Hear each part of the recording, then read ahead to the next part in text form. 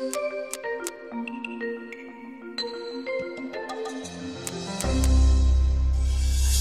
good morning, my name is Brenda Ortiz. I am Associate Professor in the Department of Crop, Soil and Environmental Sciences. Um, how climate impact cattle producers in the Southeast? I think I, I, will start by saying that climatologists in the Southeast has been studying the sources of climate variability for almost 40, 50 years. Why looking at the sources of climate variability? Because they have observed that uh, there is a change in climatic conditions from year to year. So what is causing those changes?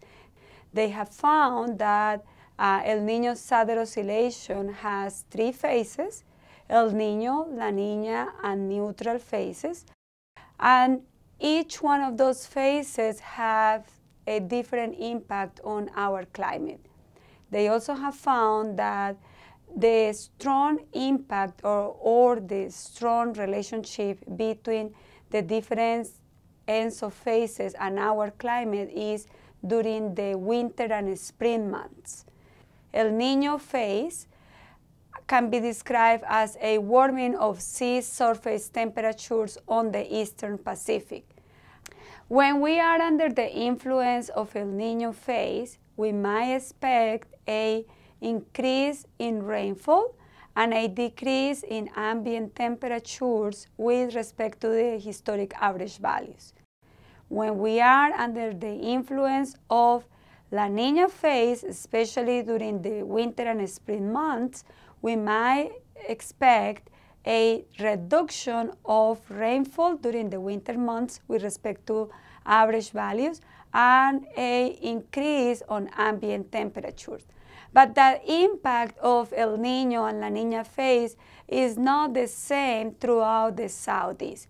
So the southern counties or the counties closer to the Gulf Coast are the ones that are going to experience the true effect of those phases meaning that dry and hot climatic conditions during the winter and spring months if we are under the influence of La Nina. Wetter and cooler conditions during winter and spring months if we are under the influence of El Nino.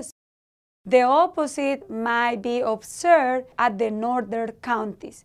The northern counties, if we are under the influence of El Nino, might experience a reduction of rainfall during the winter and spring months and a increase in precipitation during La Nina phase of ENSO.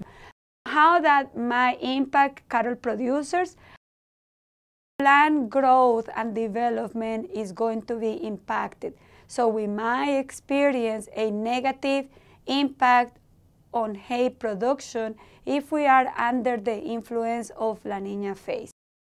The other thing is heat waves or the increase of ambient temperature might have an important influence on, on animal behavior and also milk production.